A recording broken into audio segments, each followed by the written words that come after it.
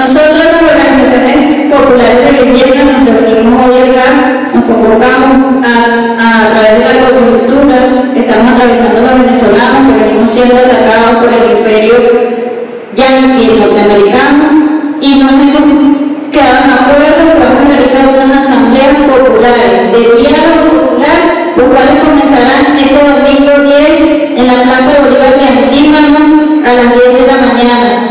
Este martes 12 en la Plaza Sucre de Katia a las 4 de la tarde. Este miércoles 13 en la Plaza Andrés Bello a las 4 de la tarde. Y el viernes 15 en la Plaza del Banco Central de Venezuela, en la Parroquia Altagracia, a las 4 de la tarde. Todo el marco del, del febrero rebelde, porque nos encaramos en rebeldía ante el imperialismo yanqui que nos quiere colonizar. Nuestro debate será contra la colonia, contra ese